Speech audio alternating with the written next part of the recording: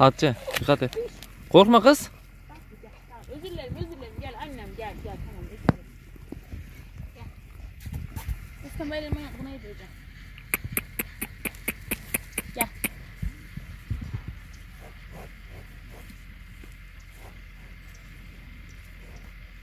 Beğenmedik gel.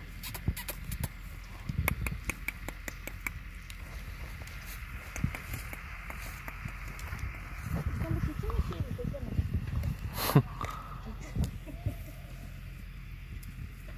Dur, bak.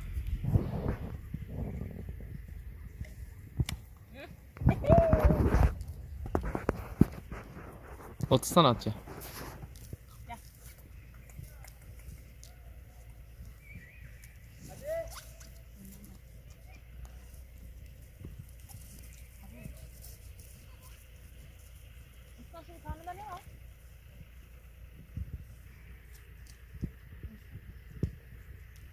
var? Karnında?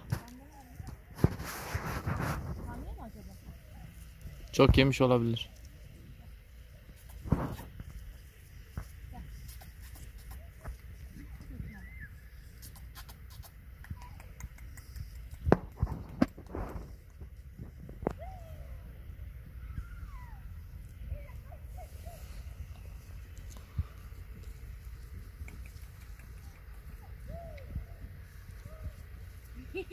Tatlı bunlar ya.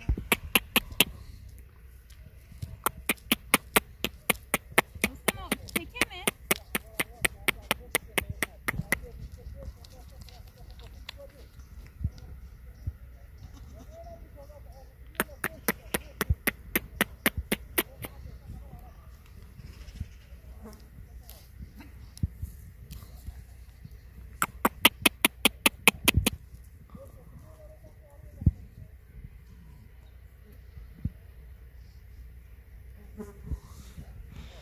Evet arkadaşlar burası benim doğup büyüdüğüm yer. Yani inanılmaz inanılmaz bir köy. Çok çok özlemişim gerçekten. Yani böyle huzur dolu. Şu da Hatice kara kara düşünüyor. Hatice ne düşünüyorsun? Keçilere belki de hayatında ilk defa eee, elma yedirdin. Evet. Bence keçi görmüştüm ama keçi ve elmayı bir araya getirme kısmet olmamıştı. Evet. Hayvanların çok muazzam varlıklar olduğunu ve hayvan için adam dövebileceğimi fark ettim. Az önce onu düşünüyordum. Niye?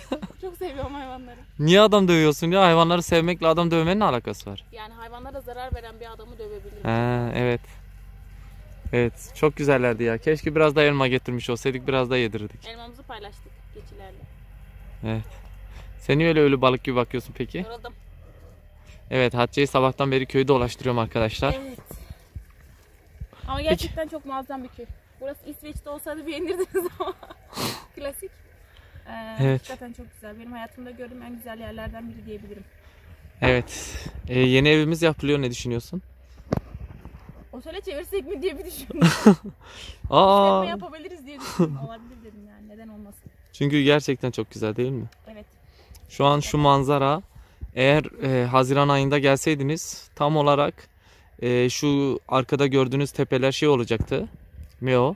Karlı olacaktı ve tamamen İsveç'teki bir köye benzeyecekti. Gerçekten öyle. Ki öyle fotoğraflarım falan da var. Belki videonun sonuna slide olarak ekleye, ekleyebilirim. Ama sonuç olarak bu videoyu gerçekten şeye atmak istiyorum. Ee, YouTube'a atmak istiyorum. En azından böyle bir köyün Türkiye'deki varlığı yani müthiş müthiş. Ee, köyün en altında bir yol var. Orayı da ekstradan bir video yapıp ya bu videoya e, şey yapmak montelemek veya tek başına öyle bir videoyu çekebilirim diye düşünüyorum. Evet. Şu an tam şu anda yağmur yağmaya başladı arkadaşlar.